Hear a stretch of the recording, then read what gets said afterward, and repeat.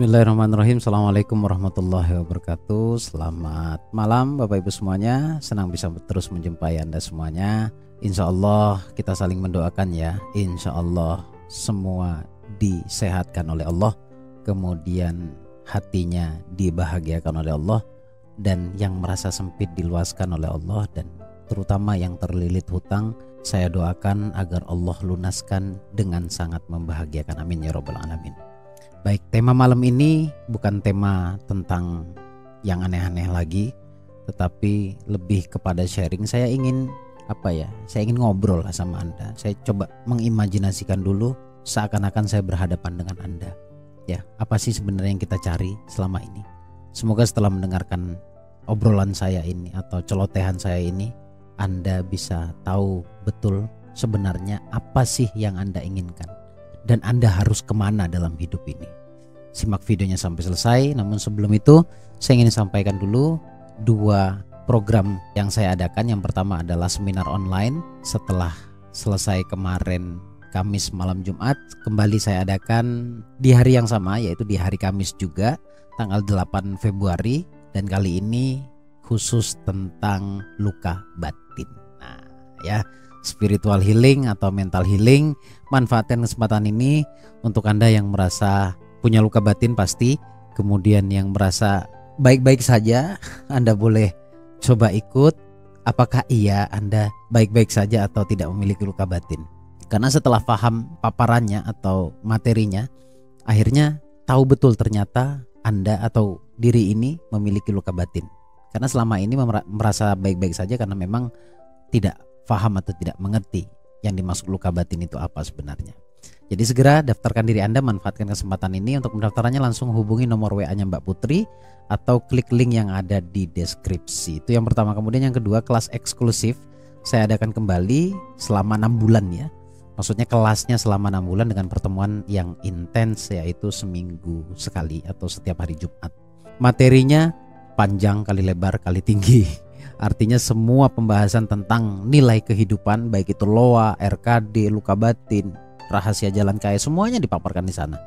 Jadi segera daftarkan diri Anda, ikut andil untuk paham tentang nilai kehidupan Anda dan untuk pendaftarannya langsung hubungi nomor WA-nya Mbak Putri atau Mas Roni tertera di layar monitor atau klik link yang ada di deskripsi. Baik, teman-teman, seperti yang tadi saya sampaikan, saya itu cuma ingin sharing aja sih. Tapi insya Allah sharingnya berbobot ya. Gini, kita tahu bahwa Allah itu banyak sekali menjanjikan kebaikan kepada kita. Banyak sekali. Terkhusus untuk kita yang punya masalah, ya. Itu Allah pun sudah berjanji bahwa semuanya atau semua manusia itu tidak akan diberikan ujian di luar batas kemampuannya. Dengan kata lain, mampu. Dan bahkan ini kabar baik menurut saya bahwa Allah itu tidak tidak merubah nasib suatu kaum kalau bukan kesungguhan dari kaum itu tersebut ya maksudnya kalau bukan kaum itu sendiri yang ingin merubahnya. Innallaha la yughayyiru ma biqaumin hatta yughayyiru ma anfusihim kan begitu. Jadi Anda punya peran penting untuk hidup Anda sendiri. Jadi kalau ingin Allah merubah hidup kita tunjukkan dulu bahwa kita pun ingin merubahnya. Jadi tidak berat sebelah tidak pincang. Nah kalau kita niat berubah terus kita ingin sebuah perubahan maka mulailah dari yang pertama yaitu yakin ke Allah. Percaya sama Allah bahwa semuanya akan selesai, bahwa semuanya akan baik-baik saja. Ya. Banyak sekali janjinya Allah. Anda mau bicara tentang apa? Di Quran itu komplit banget. Semuanya ada di sana. Pembahasan atau pertanyaan apa pun ada di sana. Yang paling menjadi masalah adalah rezeki kan? Allah pernah sampaikan yang ayat ini sangat familiar, sangat-sangat sering Anda dengarkan, yaitu Al-Tolak yang kita kenal dengan istilah ayat seribu dinar ya kan? Allah sampaikan mayyattaqillaha yaj'allahu makhraja wa yarzuqhu min haitsu la yatasib wa may yatawakkal 'ala Allah fa hasbuh. Yang pertama dikatakan adalah takwanya. Kalau takwanya benar kalau kita bertakwa dan takwanya benar kita akan dapat jalan keluar. Setelah dapat jalan keluar baru Allah berikan rezeki. Rezeki itu pun banyak jamak tidak hanya melulu tentang uang ya bahkan saya pernah mendengarkan salah satu saya anggap beliau guru karena kalimatnya begitu indah dan belum bisa saya praktekkan secara utuh beliau mengatakan Banyak orang menganggap bahwa rezeki itu tentang uang. Ya pokoknya tentang kebaikan, jodoh dan lain sebagainya itu rezeki katanya. Bagi saya, dia mengatakan bahwa yang menurut saya buruk pun buat saya itu rezeki saya. Tetapi yang buruk didefinisikan positif. Dengan kata lain, penilaian buruk menurut pikirannya, dia anggap bahwa itu adalah kebaikan baginya. Nah, di sini nih bagian tersulitnya. Ya kan? Jadi balik lagi, untuk perubahan hidup yang lebih baik, yang pertama harus dilakukan adalah yakin, percaya sama Allah. Sadar nggak? Ke mana pun Anda belajar, ke mana pun Anda belajar, ke saya atau ke siapa pun, ke mana pun Anda mencari ilmu, sebenarnya tujuannya satu. Dan yang dicari pun satu, yaitu yakin, yaitu percaya. Percaya akan apa?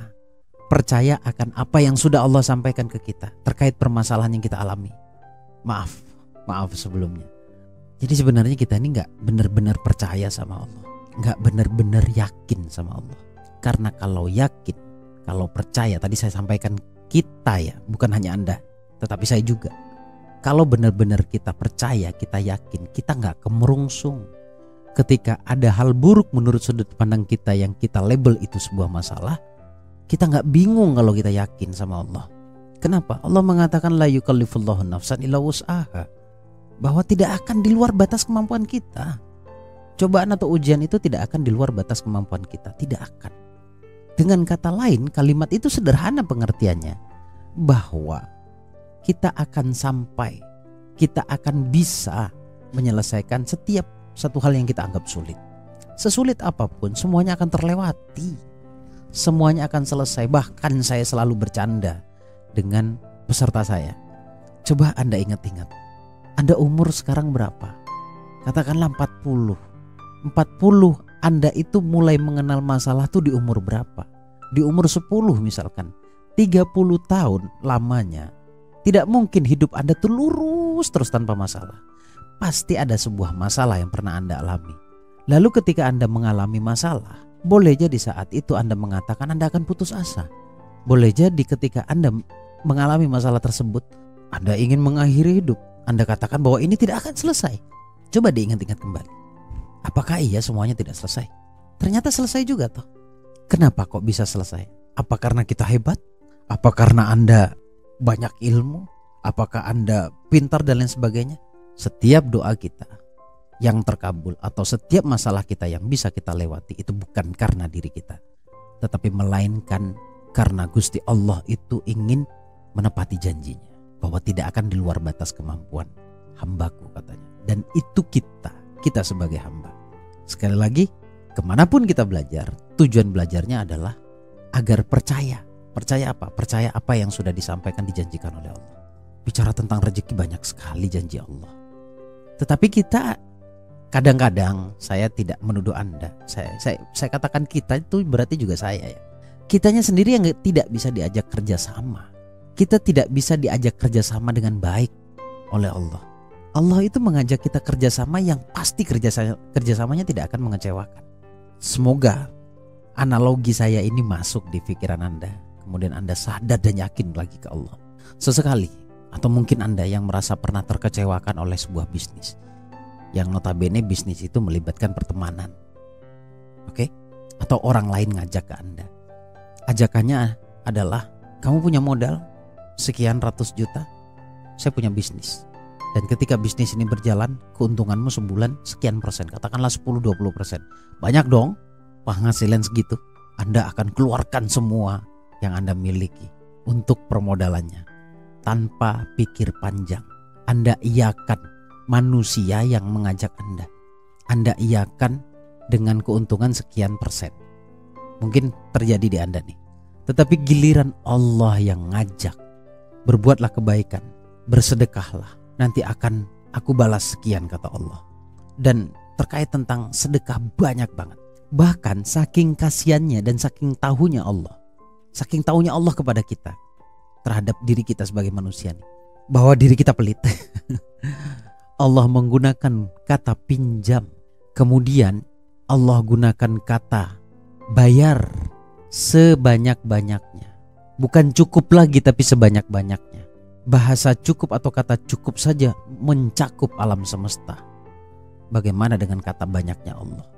Kita sulit diajak kerjasama oleh Allah dengan Allah. Tapi kita mudah diajak kerjasama dengan manusia. Perhatikan mindsetnya, perhatikan cara kita menyikapi hidup ini. Artinya kita tidak benar-benar percaya sama Allah. Dan mudah-mudahan sharing saya ini kepada Anda ini membuat Anda sadar, membuat kita sama-sama sadar bahwa masalahnya hanya karena kita tidak percaya. Jadi kalau kita percaya, kita yakin, semuanya akan dimudahkan oleh Allah.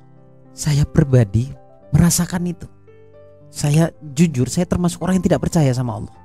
Dari penjelasan saya tadi itu, dulu saya tidak percaya, benar-benar tidak percaya. Saya hanya sekedar mengetahui, oh ya ada ayat begini, oh ya zikir begini.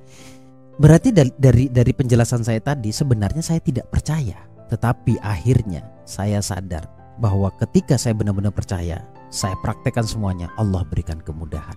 Ayo kita sama-sama perbaiki diri dan semoga apa yang saya sampaikan ini bisa bermanfaat untuk Anda. Sampai ketemu di video berikutnya. Saya Bagus Baraja Al-Fakir al Assalamualaikum warahmatullahi wabarakatuh. Allahumma salli ala Muhammad.